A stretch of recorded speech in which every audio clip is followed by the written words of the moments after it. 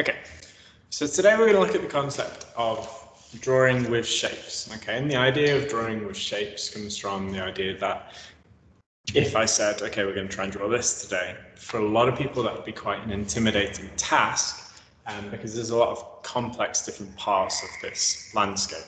You know, there's the detail with the foliage of the trees, um, there's the mountains in the background, there's a lot of stuff now that you could look at and say, well, I've got no idea how to get started with this. So that's where drawing with shapes come in. So drawing with shapes is just the, as the name implies, it's the really simple concept that if you don't know where to get started with a drawing, what you might do first of all is you might say, okay, well, are there any geometric shapes that I recognize in there, which I can then copy to help myself get started. So let's look at this one. On this landscape, what I can see if I look at this, and remember we have to oversimplify some parts of this. I look at this mountain range, and I don't necessarily see a mountain range, but I see a series of triangles next to one another. So let's see how these look. Might have one large triangle here, one triangle here, small triangle in the background there. Okay, so we have that as an overview to help us get started. And okay, in the reflection in the water, we can see we have triangle, angle. Okay, now they're not going to fit exactly within these shapes, but it will help for us to say, okay, well, I need to get started with this. I need to draw this myself. How can I start with that? Let's fill a few more shapes in before we try and do our own version of it though. Let's add the horizon line, which is the line that runs across, separating the land from the sea.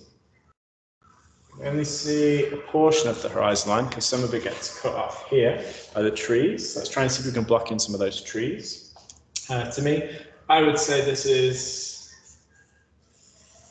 kind of an irregular rectangle shape. It's maybe another one here on the mountain range.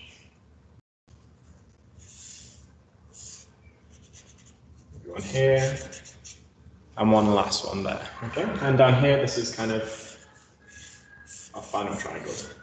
So what I'm going to do now is, I bring this slightly closer so you can see, is I've started to block in where I think some of these shapes will go. Now, what I'm going to try and do is I'm going to try and use this as a guide and start to put my own version together. So let's have a look how this goes. I move this over here so you can see. Let's try and see how this goes. So I'm going to use this as a guide and see what I can do over here.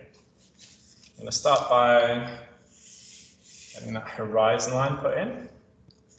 Try and mimic shapes I've added. Now I'm doing this in a pen so you can see, but when you do this yourself, you do it in a pencil and you press quite lightly so you can erase it afterwards. And let's get the big irregular rectangle over here.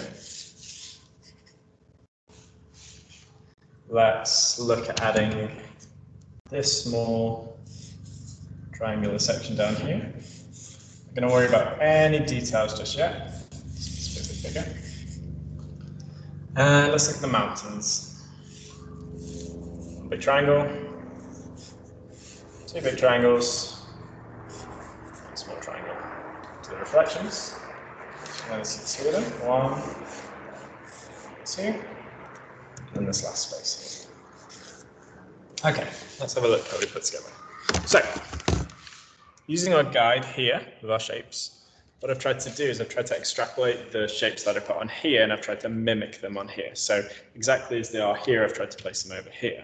Now, is this going to get any awards and is it going to be placed in a gallery as a super realistic landscape? No, of course not, because this is just the first stage. Now, what I'd do is using that pencil, I'd go in and look at this a bit more closely and I'd try to get some more of the details in. So I don't have these big blocky shapes anymore, but I have, oh, let's look at these trees. I'll try and get some of the rounded shapes. Maybe if I look a little bit closer when I'm drawing the shapes, can see, oh, it kind of looks like there's a semicircle there. Maybe there's another semicircle there. Okay, and I can start to add those in to flesh out and add detail to my, my replica drawing of it. Okay, but that is the concept expect, and that is the very simple idea of drawing with shapes demonstrated for you on this landscape piece.